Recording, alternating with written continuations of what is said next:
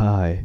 I haven't seen uh, an Eve lander yet uh, in 1.0, so here's mine. But this is uh, a preliminary version, so it's not a complete craft yet. It cannot go to uh, Eve yet. This is just the lander. So you can see that it is somewhat similar that uh, my previous uh, version of the Eve, Eve lander was. It has some similar ideas, but it is heavier and it is not as capable, at least not yet uh, as the other one was. It also uses mainsails instead of uh, skippers uh, and uh, the thing is this is because of the thrust to weight ratio. Now uh, it was fixed so the thrust is changed uh, with the, the pressure of the atmosphere and in fact the thrust can go lower than on Kerbin in a thicker atmosphere which we have on Eve so they will have a very low thrust at sea level on Eve but even uh, uh, at higher altitudes. So that's why uh, I cannot use the skippers. this is why the the whole thing is much heavier because of course the mainsails have to consume a, a, lot more fuel. In fact, the, the whole ship is is built around some specific limits, what you will see during the launching from uh, the surface. So now this cannot go to the uh, to the orbit of Eve yet, so I have to cheat my uh, way there, and uh, obviously because I don't have HyperEdit, uh, uh, the way was to do the Pullman's version, just to edit the save file. So just use some text editor, basically used here Notepad just looked for uh, the name of the craft uh, which was uh, Eve again.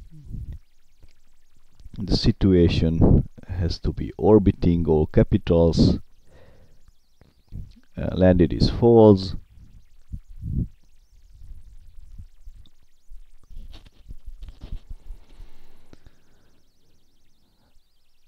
semi-major axis from the center of the planet and not from the surface. Eccentricity almost zero, so it's a circular orbit, and the index of the planet changed to Eve. So now when I load back, it will orbit Eve. However, when I pressed F9, it also deactivated the video. Uh, the recording I mean so uh, I had to start again but I had to start several times again because of a peculiar problem. There are these uh, side ladders uh, on the science package to, uh, the two sides of the craft. And uh, whatever I do they almost always overheat. I put them behind heat shield. I angled them uh, so that they were completely behind the heat shield and they just uh, they were not uh, vertical but somewhat angled so they could be put behind the heat shield completely and even then they overheated. Actually they overheated faster that way than now. Uh, now the side is sticking out. They are just uh, normal ladders so they are completely vertical now and there's a way to avoid it now so just uh, pitching the craft up and down a little bit and that uh, somehow distributes the heating. But I also had to deactivate uh, or disable the heat uh, bars or displays because that causes the game to crash after a while. Probably some memory leak.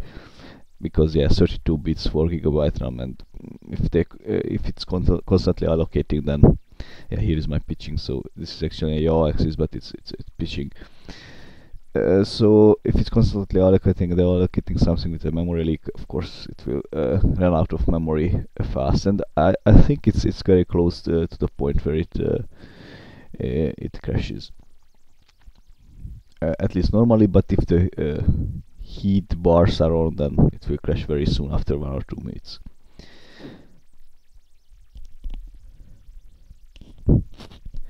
So it's going down and the the heat shields are depleting uh, the ablator. And as soon as uh, the speed uh, went down to reasonable levels I could uh, open the parachute it actually cannot turn uh, on, on itself without uh, uh, the parachutes and then I release the heat shields I have to do it in this order because if I release the heat shields first then they can hit the craft again so uh, the safest way is to uh, have the top pointing upwards and then release the heat shields. Even now they hit each other, so that was the ex explosion. And uh, with, because of the landing gears, it can tolerate uh, quite uh, uh, fast or, in this case, slopey landing, or, or I mean, on a slope, and it will work out fine. Of course not on water but it cannot come uh, up from sea level yet at least not yet. So two kilometers is the best it can do. This is uh, where we are now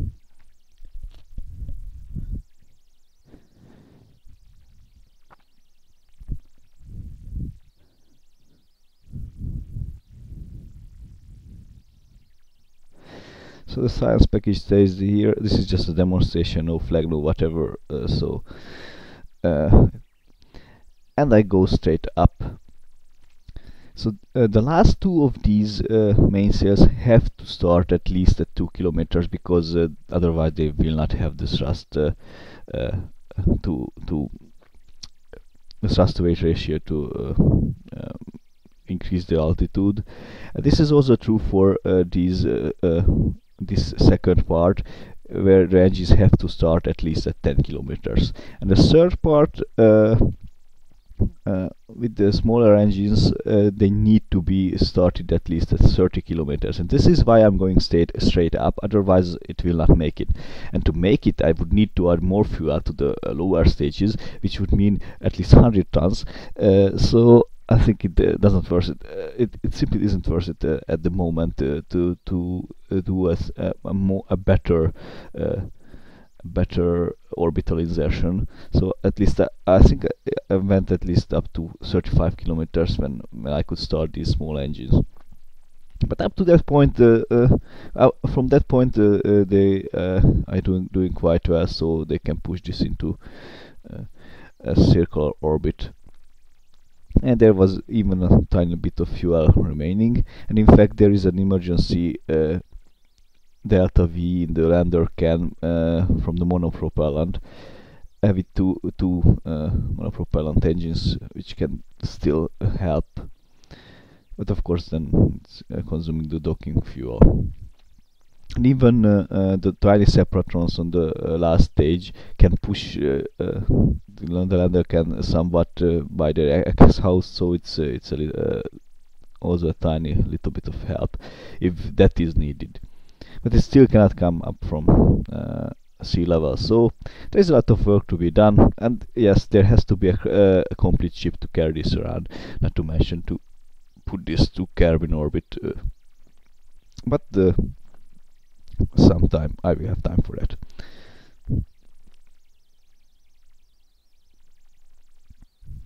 So thanks for watching. Bye.